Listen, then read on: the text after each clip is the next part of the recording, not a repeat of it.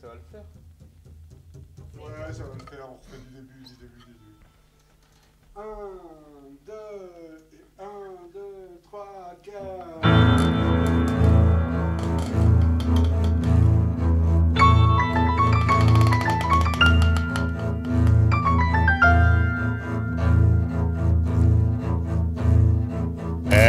s'appelle Marie-France, elle a tout juste 20 ans et elle vient d'épouser un inspecteur des finances, un jeune homme très brillant qui a beaucoup d'espérance, mais depuis son mariage, chacun dit en la voyant.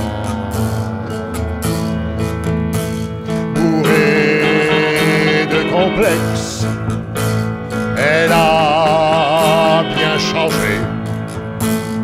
la faire psychanalyser chez un docteur pour la débarrasser de ses complexes à tout casser, sinon elle deviendra cinglée.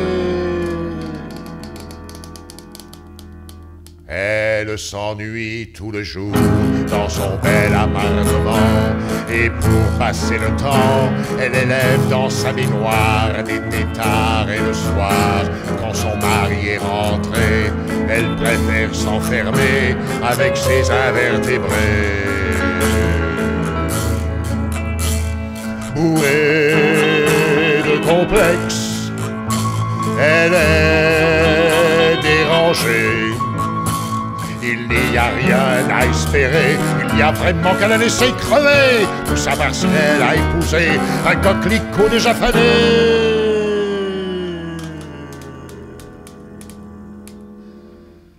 Elle s'est inscrite au Racing pour y apprendre à nager. Les tétards, tôt ou tard, ont fini par l'inspirer.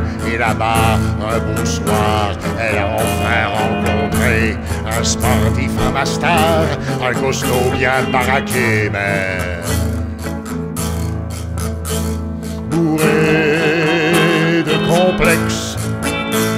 Et tout a changé venu vivre chez eux et le coquelicot soudain s'est senti mieux. Ayant repris toute sa vigueur, il a enlevé le maître nageur. Adieu les complexes, fini les complexes. Elle a changé de sexe, tout est arrangé ce qui est assez parisien.